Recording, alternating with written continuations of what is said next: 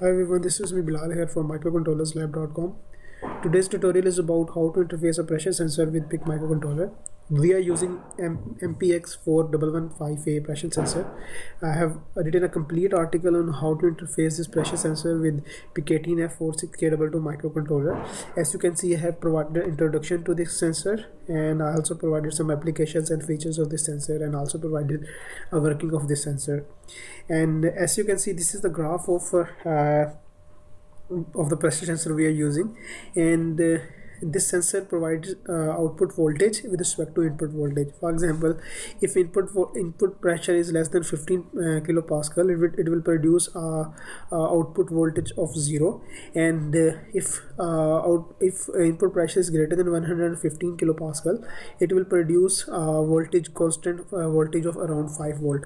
So the minimum voltage minimum pressure we can measure with the help of this sensor is 15 kilopascal and the maximum pressure we can measure with the help of this pressure sensor is 115 kilopascal. So we have this relation. Uh, vout is equal to vs 0.009 multiplied by p minus 0.095 plus minus error.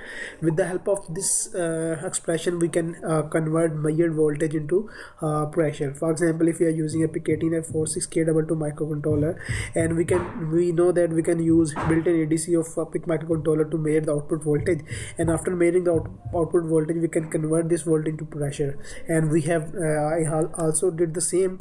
Uh, I used this expression. After the expression I uh, convert into uh, pressure uh, using the formula which is given in the code. So uh, here is the simulation.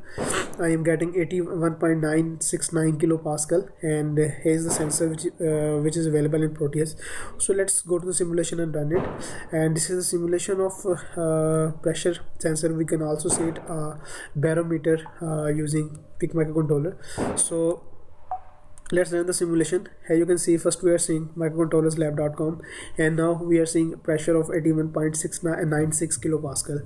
And there is some error between the measured value and the input value because uh, there is 1.5 percent error uh, in the measured uh, measured and uh, input pressure and we can compensate this error by adding uh, error uh, correction factor in the code and you can do it very easily. So if I increase the pressure. Here you can see pressure is also increasing on LCD so uh, this is a very easy to use sensor because its uh, output its output is in the form of voltage and you can easily convert voltage back into pressure.